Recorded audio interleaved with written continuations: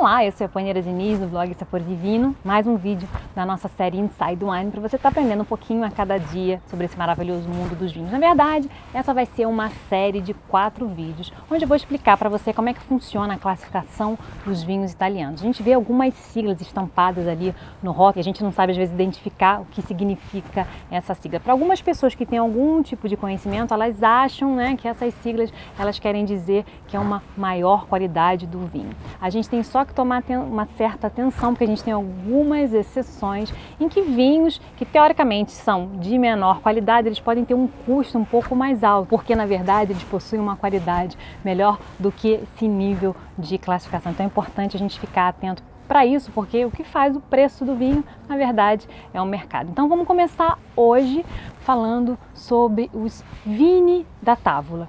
E a gente traduzindo, são vinhos de mesa.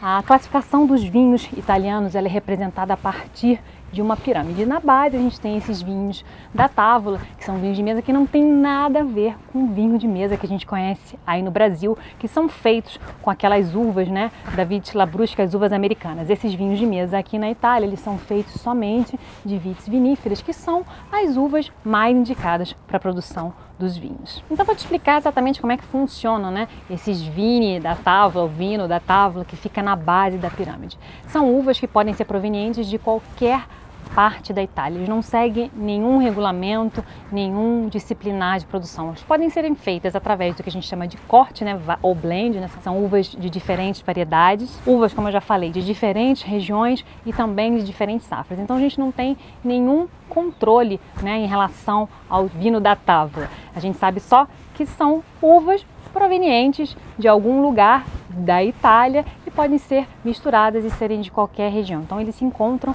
na base da pirâmide dessa classificação dos vinhos italianos. Amanhã eu vou estar falando sobre os vinhos IGT, que é aquele que vem logo depois do vinho da tábua na pirâmide e quer dizer indicação geográfica típica. Então eu te espero amanhã para falar para você a próxima classificação dos vinhos italianos. Se você gostou desse vídeo, deixe seu comentário aqui embaixo segue a nossa tag Inside Wine Sabor Divino. Esquece de se inscrever aqui no nosso canal que a gente tem um vídeo a cada dia durante 365 dias do ano. A gente se vê então amanhã.